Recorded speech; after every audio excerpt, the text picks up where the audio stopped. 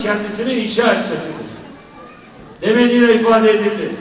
Büyük zatlara bakın hepsi kendisini inşa etmiş insanlardır. Nasıl kendinizi inşa edeceksiniz? Bir, bilgili olacaksınız. Dini ve dünyayı, kendinizi ve dünyayı bileceksiniz.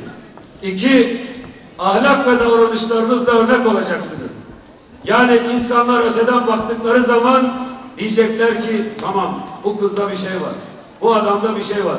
Bu bambaşka bir diye etrafınıza toparlanacak. Üç, kişilik sahibi olacaksınız. Kişilik sahibi olmak söylediği sözden geri dönmemektir.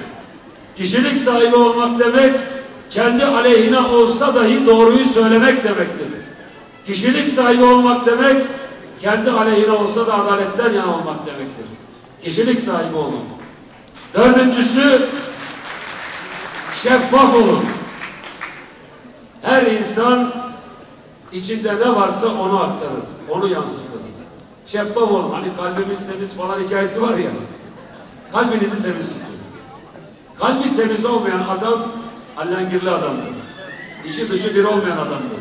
Ne söylediği belli olmayan adamdır. Kalbi temiz olmayan baktığın zaman arkasını görmediğin adamdır. Siz bakıldığınız zaman arkası görülen insanlar olun.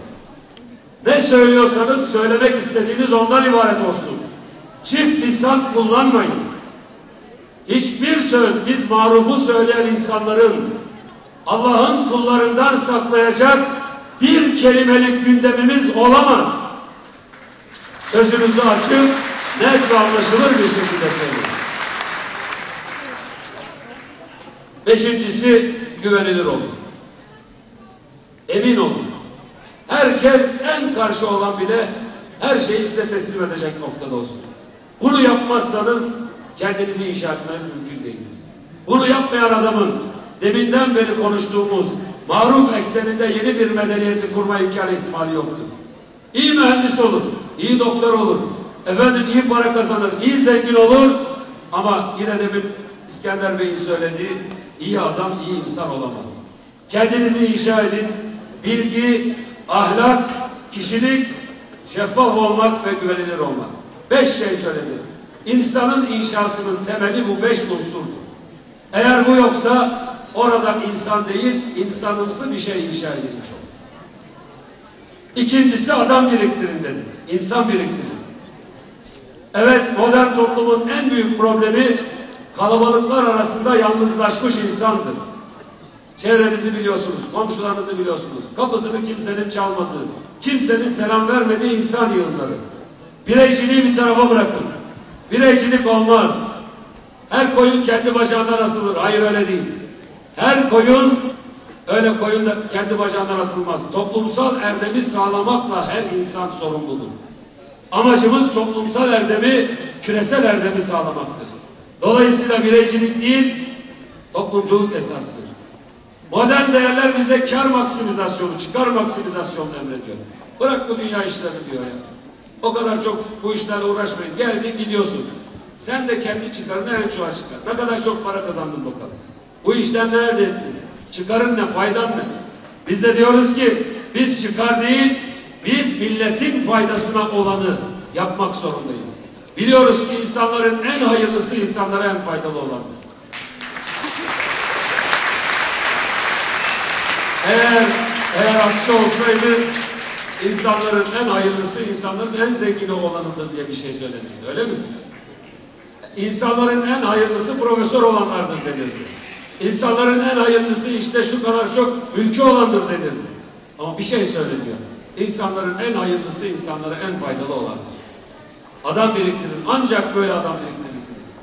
Vermediğiniz takdirde, insanlara herhangi bir şekilde yaklaşmadığınız takdirde, bir diyargah olmadığınız takdirde, bireyci olduğunuz takdirde adam biriktirmeniz mümkün değildir.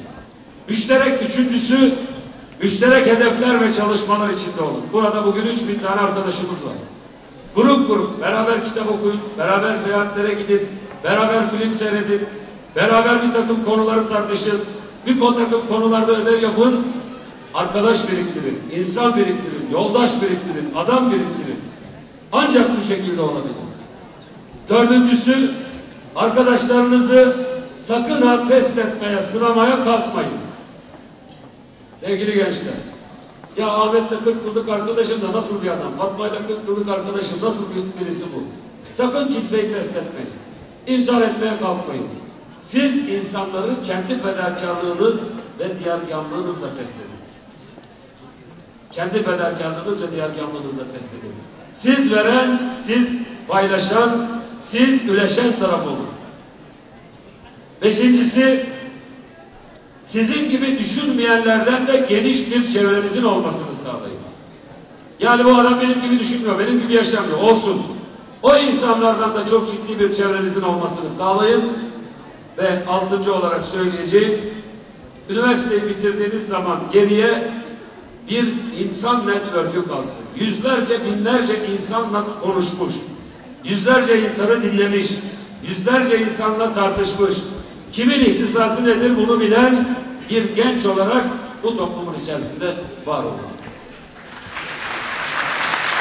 Bunları yaptığınız takdirde özetle ne söyledim? Bir, dünyadaki kriz medeniyet krizidir. Bunu basit laflarla, alışılmış laflarla çözme imkanı yoktur.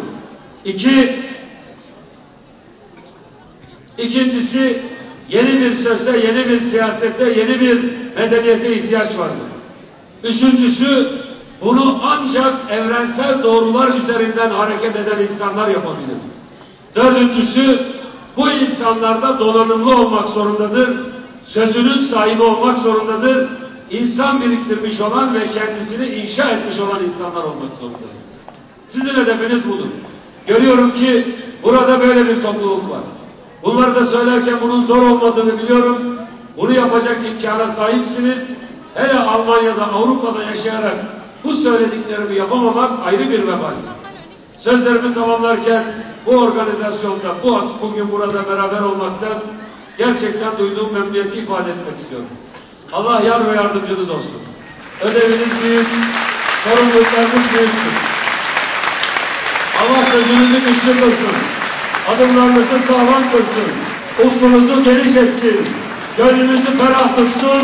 Geleceğinizi aydınlık etsin. Ve sizlerin elleriyle yeryüzünde küresel evlerin kurulmasını görmek nasip etsin diye Geleceğe sevgiye saygılar